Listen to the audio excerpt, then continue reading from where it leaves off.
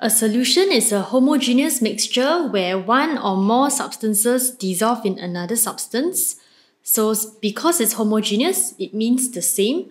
So every color, density, appearance, and other physical and chemical properties are actually the same in every part of the solution. A solution is made up of one solvent and one or more solutes. So what are solvent and solute? A solute is actually the dissolved substance which is usually in smaller amounts compared to the solvent, while the solvent is actually a substance that will dissolve the solute, which is usually in larger amounts compared to the solute.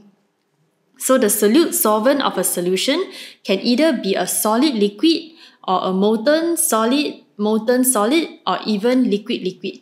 So there are actually some examples of solutions. We look at the table below. For example, our sugar solution, the sugar is actually our solute, while the water is actually the solvent. Okay, for mineral water, we actually have the carbon dioxide and mineral salts as the solute, while the water is being the solvent. For fizzy drinks, we actually have carbon dioxide and sugar as the solute that they are going to be dissolved, and the water is actually the solvent. Okay, so a solution in which water is the solvent is actually called an aqueous solution. This word aqueous, you'll be seeing it a lot in chemistry next time.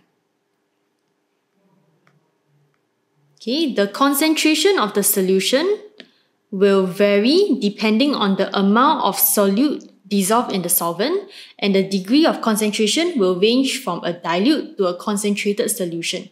So if you see this word dilute solution, it actually means a small amount of solute is being dissolved in a large amount of solvent.